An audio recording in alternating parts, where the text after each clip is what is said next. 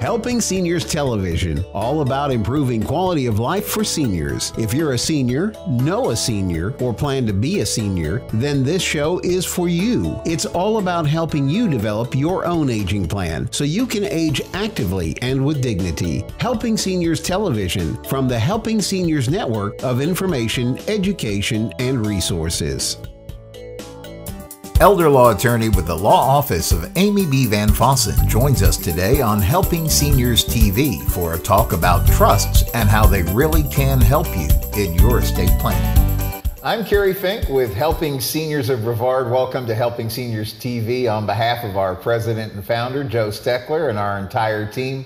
Uh, so glad to have you with today. I think you're going to really find a lot of value in today's program and the topics we're going to talk about because the topic really today is uh, all about trust. And uh, we're going to start off at a 30,000 foot overview level because if you're like me, you've heard the word trust and you it just conjures up for me anyway it conjures up somebody with like ridiculous amounts of assets. They're trying to figure out how to structure everything the right way.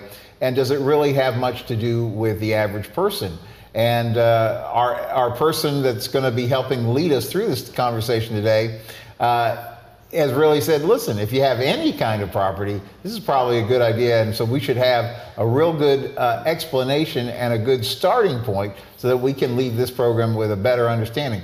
As you know, our goal here at Helping Seniors of Brevard, we uh, often kind of like half jokingly say, this is about getting your ducks in a row but what we really want to do, as Joe Steckler has talked about, literally from the day he founded uh, Helping Seniors of Brevard, is we want to create a, a, place where you can develop your own aging plan. So you can look at your own particular circumstances, the things you want to accomplish as years come by, and then let's make that happen. And so, uh, what a great opportunity is to have this conversation today. We have uh, Tyler Runte with the law office of Amy B. Van Fossen.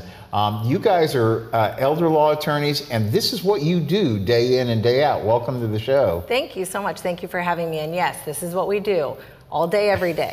Estate planning, that's where it is. You know, I, I, as I was saying at the beginning of the show, I hear this word trust, and you know, I jokingly talk. I don't know if you uh, remember or heard of the TV show Beverly Hillbillies, and they talk about, you know, they move to Beverly, swimming pools, movie stars, and that's typically who we think you know, people, when they talk about estate planning and they talk about trust, you're thinking about people who are like very wealthy. But as you were uh, schooling me just before the cameras were rolling, this really applies to just if you own anything, this this now starts to apply to you, right? It does. So um, I think a common misconception is that you have to have a lot of money mm-hmm. or you have to have a lot of assets, several bank accounts or pieces of property mm-hmm. for a trust to apply to you. And that's not the case at all. Um, a trust is really a valuable tool if you have anything. If you have a mm-hmm. bank account holding ten dollars, um, it can be wow. it can be a valuable tool.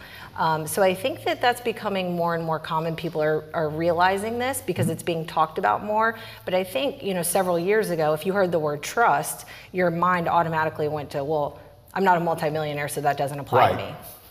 So I guess the question, even thinking about that, is then you know if you even get a concept of a trust, which I'm going to come back and I want to ask you to just help help me or help our viewers if they're not familiar with the terminology, just so we understand what a trust is. But then, the, you know, it's like once you get past that, you have all these other terms that go with it. Is it revocable? Is it irrevocable? All these complicated words. I know you know how to parse it, but help us get, get a sense of it. Right. So that's why we're here. Yeah. We're here to help because it's not, it certainly isn't common sense. Um, and we've been educated to know what those terms are mm-hmm. to help you along this path to make it as simple as mm-hmm. possible. Um, we actually have fun doing this, so so people people can come to us um, and feel comfortable, and it doesn't have to be this scary sort of thing. Um, but certainly, so a trust is basically a, a document that creates a mm-hmm. vehicle mm-hmm. for your assets to be placed in um, with language on how that should be distributed when you pass away. Okay. So you have a trustee of the trust. Usually, uh, the trustee while you're living would be yourself. So you are the trustee of your trust. Um, and then you name a successor. So when you pass away, that person is in charge of distributing your assets as you wish. Mm-hmm. Um, you are the grantor, as we call it, so the creator of the trust, and it holds your assets. So it's it's really um, just a vehicle that transfers property when you pass away.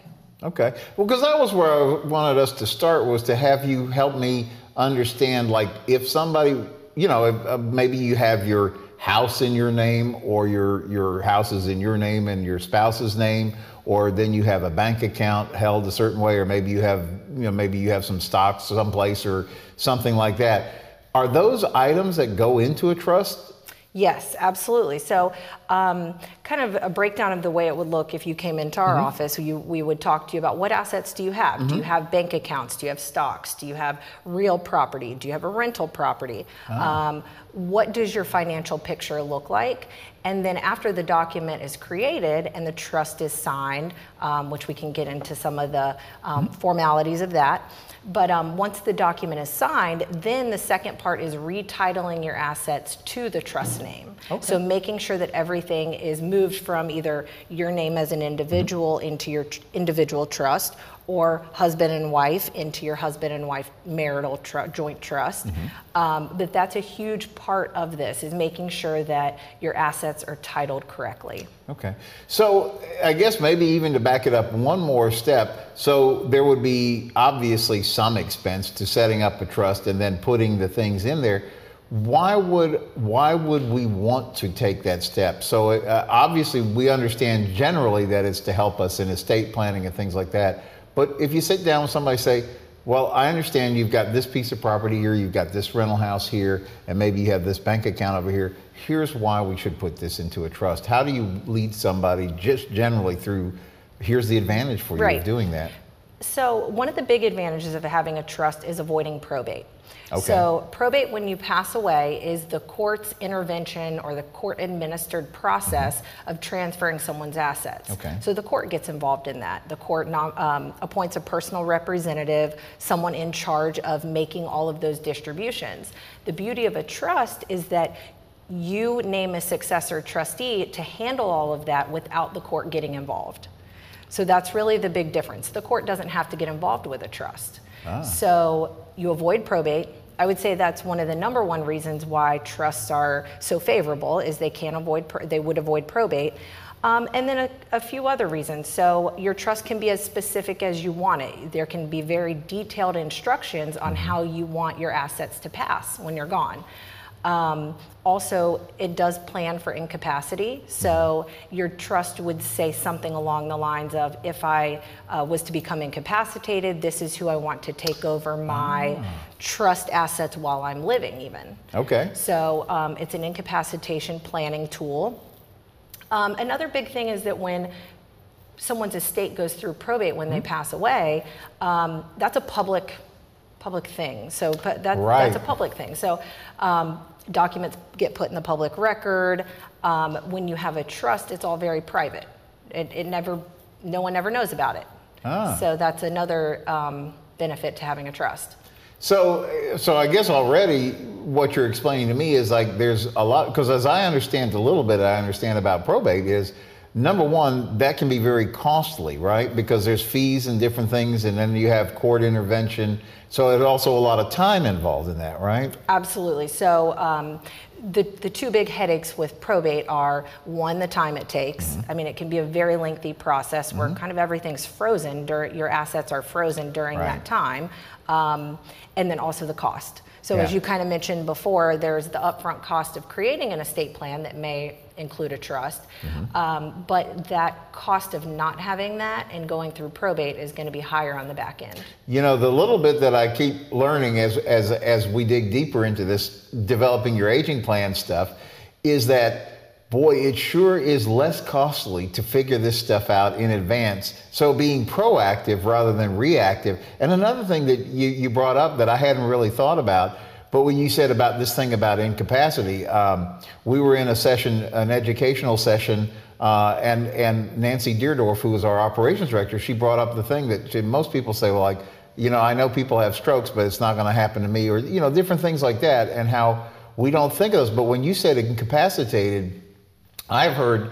Um, I remember talking with uh, one of the attorneys in, in Amy's office who said, Kerry, I have so often met people and families that I wish I could have met 30 days before this happened because we'd have so many more options to help guide them through this than we are left with because that planning wasn't there. Right, absolutely. With that, I think that's what we harp most on mm-hmm. in our line of work is just being prepared.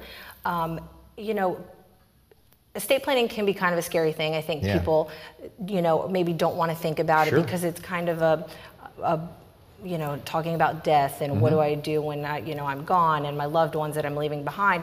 People might not want to address those thoughts, but I can tell you that when clients leave our office, the weight that is lifted off of them, yeah, it's just the feeling, okay, it's complete, it's done. I've I've got something.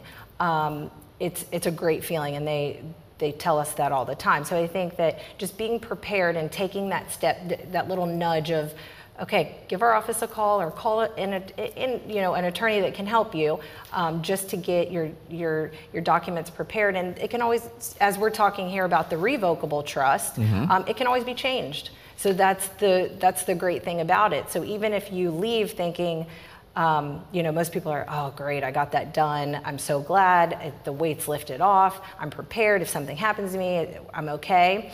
Um, and then five years goes by and you decide you want to change it, that's fine. You would just change it. We just amend it. So that was a question I was going to say because I have I, the little bit I know I've heard revocable trust and irrevocable trust, and obviously you would be the expert that would would help look at somebody's situation and guide them correctly. But what is there a different? What is why would you choose, or how do you choose, or how do you start to look at those as tools? So a, a, revocable trust can be changed throughout your life. So mm-hmm. it can be mm-hmm. amended as many times as okay. you want. Um, whether it be your beneficiaries or your, your successor trustee or mm-hmm. specific instructions that you include in there, all mm-hmm. of that can be changed. So, and as we progress through life, things do change. So, mm-hmm. you know, I have a, a three and a five year old. Mm-hmm. Um, my estate plan while I have young kids mm-hmm. is going to look different than when they're, you know, 25 right. and 28 or 25 and 27. Um, so all of that can be changed, which that's that's a great thing about a revocable mm-hmm. trust. An irrevocable trust, on the other hand, can't be changed. Okay. So once that is signed, it is that way. Um, and irrevocable trusts are typically used for um, when there's a disabled person, for instance, a supplemental needs trust, those are oftentimes irrevocable, um, or Medicaid planning. So mm-hmm. those are kind of some more, more detailed, specific uses for irrevocable trusts. But the big difference between revocable and irrevocable is revocable can be changed and irrevocable cannot. Okay. So, like when you have this idea, I'm going to set up a trust because that makes sense for some of the reasons we talked about, it would solve this question about all the expense and time of probate, and it would probably help, uh, you know, help with a, a path if if I became incapacitated or something like that. So if somebody says that, what are all the tools that you need to be able to help somebody put that together? What are the things that you need to know uh, from the person sitting across the desk from you? So usually in a consultation or a telephone call, um, it can be as formal or informal as someone may want right. it. Um, but we'll begin to gather information. Mm-hmm. So do you have children? Do you have okay. grandchildren? Do you have uh, loved ones nearby? Um, what are your assets? What does your, you know, do you have bank accounts? Do you have real property? Mm-hmm. Um, and also, who do you want to be in charge mm-hmm. of your estate while you're living, mm-hmm. or I'm sorry, in charge of your, your affairs while you're living, should mm-hmm. something happen to you? Mm-hmm. And who would you want to be in charge when you pass okay. away? Oftentimes, um, it looks the same, like the people will use the same agents on everything, but sometimes it doesn't. So, for instance, if we're doing a full estate plan, um, and, and you may have the lawyer or accountant child that you want mm-hmm. to be mm-hmm. on your power of attorney ah. because that's who would be making a legal or financial decision for you, but then you have the nurse son or daughter or the medical uh, son or daughter that you would put on your healthcare surrogate. Right. Um, so the information that we really need is who do you want listed on these documents? Mm-hmm. Who who do you feel comfortable? Is it or is it maybe a friend? Mm-hmm. Or do you have no one? And you right. want us to reach out and, and do some of that care management, case mm-hmm. management. Um, there's companies out there that provide services, um, and, and we can do that as well. Um, so definitely who you want to be on your documents, that's important. Who you want, uh, like we're talking about the trust, who you would want to be your trustee. And then of course, who are your beneficiaries? Who do you want to inherit from you when you pass away? Is it a family member? Is it a friend? Is it an organization? Um, so we often ask people, you know, think about the organizations you're members of or, or that mm-hmm. you the charities that you donate to what is meaningful for you who do you want right. to, to have your funds when you're gone um, so we, we and sometimes that takes people time you yeah. know they come into our office and these they haven't thought about these things yet and that's right. okay we take this as slow or as fast as as the client would want um, but it's about thinking who who do i want to take what i've worked so hard for all, all these years um, so those are kind of the, the, the things to be thinking about. You know, and you're, as you're talking about it, I was just going to ask you when you come to these decisions and you start to work through this, uh, maybe that's one of the reasons we often put this stuff off because it feels like like I have to make all of these decisions. But one of the things that you were just talking about is that it's okay if that process takes a little bit of time because I guess maybe first somebody has to sit down so that we even know the right questions we need to be thinking about. Right. Right, and and we have people that come in that you know it's more of a education uh-huh. consultation where we're saying this is what there is that we can offer you. This is what you need. This is what this is what the documents mean, and people can be hesitant, and that's okay. That's okay. We right. um, we're here to educate. We mm-hmm. want we want you to understand the benefits of all of the documents right. and why they're needed. We're not just pushing this stuff for some personal agenda. no, I, I, was going to say, and in particular, uh, Amy and your law firm, uh, you guys have been very generous with your time. You're always involved in uh, like a lot of community uh, where you'll do seminars, and, and particularly, I know that uh, over the years, I've I've heard Amy give talks about uh, VA planning, uh, VA aid and attendance planning, and there's a lot of different things that the average person doesn't know. And I wanted to ask you about this as we're talking about trust, because I've also heard stories of people who will do go to all the trouble to make up the paperwork, and so they'll think, well, I've got my whole trust, it's all set up, everything's done, but then they don't quote funded or put the things into the trust, and that kind of negates the whole purpose, right? It does. So it's so unfortunate when we, and we see it because our office does probate as well. Uh-huh. So we see it after people have passed where they uh-huh. had this trust and it wasn't properly funded. So it's almost like the trust was useless. You went to all the trouble and the expense of creating it while you were alive, right. but then not properly funded, it really does you no good. Um, and you're likely going to find yourself in probate anyway. Um, but funding your trust is basically making sure your assets are titled in your trust name. So, for instance, um, if I had the Tyler Runte Revocable Trust, mm-hmm. that would be the title on my bank accounts. Tyler okay. Runte, trustee of my trust. Um, or my the deed to my home. That would be the way it would be we would be titled. So our office does do um, trust funding. So yeah. we help with trust funding if that's a service you would like us to provide, um, because I think once people get over that hump of okay, my documents are done. Right. Whew, okay, I can just sit back and yeah. I'm good now. The, you do have that little bit of homework right. of making sure your assets are titled correctly. And we oftentimes work with um, financial advisors or CPAs, whoever, to make sure that we're collaborating and coordinating to mm-hmm. make sure your assets are all titled correctly. Well, it does sound like it's pretty complex, and that leads me to the topic. You know, I know. Um, that boy will turn on the TV and we'll see commercials that encourage us, oh, you can do this. Here's an online service. You can take care of all this stuff yourself. Or oftentimes you can go into like an office supply store and there'll be this, oh, here, do your, do your own uh, paperwork stuff. But to me, that seems kind of dangerous because uh, so much of this uh, seems a little bit high stakes. Like if you get it wrong, it could really cost you money. Absolutely. You hit it on the head that if it if you get it wrong it's it's really it could be a problem. It, or i shouldn't say it could be it will be a problem. Wow. Um, and very very costly. So it, we, we want you to avoid that. Um, we always say please don't print things offline that you mm-hmm. find on you know on the internet and and just assume that they're going to be legally accurate they're going to be executed with the proper formalities right. Um, you know certain documents need two witnesses and a notary and a lot of these documents you find online, uh, you know, it's just got a signature at the bottom where yeah.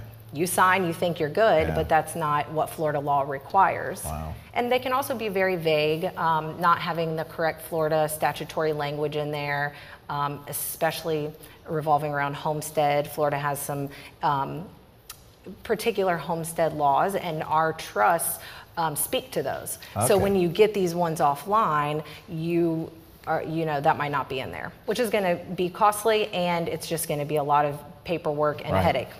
You know, and that, that actually leads me to a to kind of a, like a corollary point. You know, we have the blessing of living here in Florida, and and of course, uh, these programs, the Helping Seniors TV programs, we broadcast these locally here on Space Coast Government TV, but they're also available like on a YouTube channel. We have a Helping Seniors of Brevard YouTube channel. And then we also have a, a, a page on uh, Facebook, Helping Seniors of Brevard, and they have a service called uh, Facebook Watch. And so all of these uh, TV programs go there. So we will occasionally get calls, uh, not occasionally, I'd say actually more frequently, we'll get calls from relatives, like adult kids, uh, who have their mom or dad or uncle or aunt or somebody living in our area, but they're up in the Midwest or they're up in the Northeast and they're calling saying, hey, uh, I saw this and I'm curious about this. But then there's a lot of people who are down here that are snowbirds, and there's also a lot of people moving into our state. Our state is, um, uh, it's almost like a magnet because everybody moves to Florida. And I was thinking, like, what if you're a person that you had set stuff up, but maybe you spent your working years, you know, someplace up north? Does all that work when you get down here, or do you need somebody to help you sort it out and look through? So we definitely say have an attorney look at it. So if you had all your documents done mm-hmm. in another state and you moved to Florida, um, absolutely you want to have some an attorney review it, make mm-hmm. sure that it's compliant with Florida laws and has the Florida statutes in there. If it doesn't, we can always amend it to include those. Mm-hmm. So we, we do that often. Um, like you say, with so many people moving to Florida, right. we do that very, very frequently where we'll review documents from another state and then um, just update them so that they're compliant with Florida law. So it's not, you know, a redo and all of that trust funding that you may have already done, uh-huh. hopefully already done, um, that's all fine. We don't have to touch that because we still use your same trust. So the name doesn't change, N- none of the particulars change, um, unless you want them to, of course. While mm-hmm. we're amending, if you want us to change um, that those particulars, we can. But the name doesn't change, so you don't have to unwind any of that trust funding. Mm-hmm. Um, so it's not too complicated of a process. But we do say make sure you have an attorney review it because you don't want to, um, you know, a, Ohio laws in your Florida now Florida trust. Right, you know, because that that to me as like a, a kind of a novice about this, it really makes sense, right? Because you think you had everything buttoned up, and the pro- and the problem with all of this, right, is that the moment you need it to work right it's not like you have an opportunity to do a do-over. You're stuck with whatever right. you had, right? Right, absolutely. Yeah, you want to get it right. That's why that's why we say please don't print these things offline and or yeah. have us review if you move here, um, just because you want it to be right. It's it's yeah. not worth the the headaches that are on the back end if you don't have it right. Yeah, and I guess for the so so so a takeaway for me for us talking about this today is that this conversation we're having about trust is far more applicable to to all of us average folks that are that, are, that we're just trying to figure out to do the right things for our family. So it's not really just for folks that have are high net worth individuals. I, I would imagine if you have a house and a bank account, it probably makes sense to at least have the visit and say, "Is this something I should be talking to you about?" Yes, absolutely. Yep. And then, particularly, uh, I guess as I've heard this too over time. You know, maybe you had documents done years ago uh, living up north, uh, you know, during your working years and you come down here and enjoy the sunshine of Florida, but maybe stuff that you had planned then has shifted. Somebody got married, somebody's no longer in the picture, whatever kinds. Do you you probably run into a lot of that too? We do, and it's so nice when people you know get their dusty estate planning documents out and review them right. um, because it's not you know necessarily the funnest read, right. but um, it is necessary. So every we we tell people. Um, when you leave our office, please don't forget about us. You know, every right. few years, get your documents out and review them to make sure the names are all still accurate. Um, things have changed yeah. you know have things changed do you need updates right. and your your documents can be so particular to the point of you know you want um, your son to inherit, but you want him only to receive $1,000 a month for oh, wow. the rest of his life, or whatever. The, or maybe you want drug tests, or you want him to have completed college before he gets a lump sum. Some of those things over time are going to change. If he's already wow. graduated college, then that's you know, a moot right. point at this, you know. So we definitely say take them out, look at them, see if anything needs to be changed, and that's that's not a complex thing either. We can make whatever changes are necessary. Wow, it's very it's very encouraging, and I want to thank you for kind of having broken this down in a way that we can access. You guys, I, again, through the law office of Amy B. Van Fossen, you guys really take a lot of time. If somebody wants to look at uh, a website, I know you guys have a website and you have a lot of resources there um, that are useful. How do people find you guys online? Yes, so the number is 321 345 5945. That's our phone mm-hmm. number. And then online would be amybvanfossen.com. Um, we do hold free seminars as well, so you can call our office to schedule yeah. for one of those.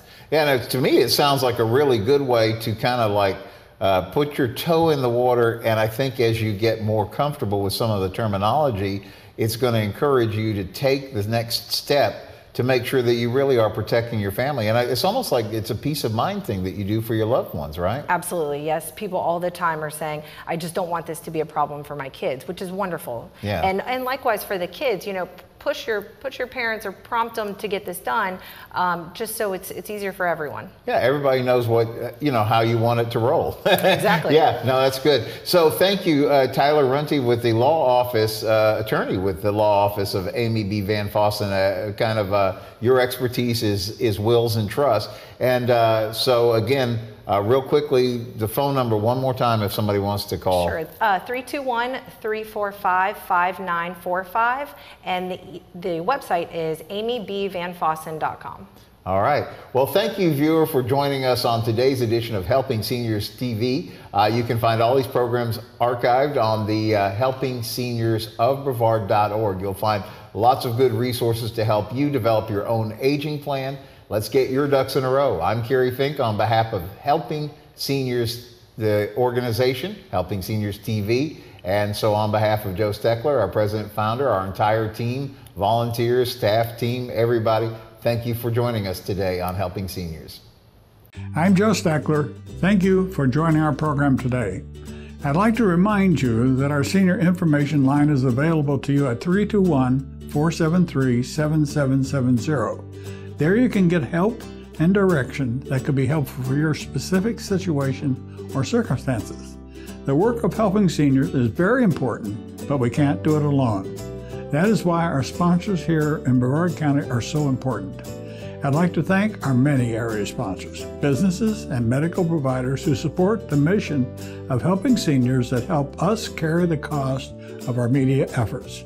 If you'd like to join us either as a business partner or simply donate as an individual, we would welcome your call at 321 473 7770. You are always welcome to visit our website at www.helpingseniorsofbrevard.org. Thanks so much for your help.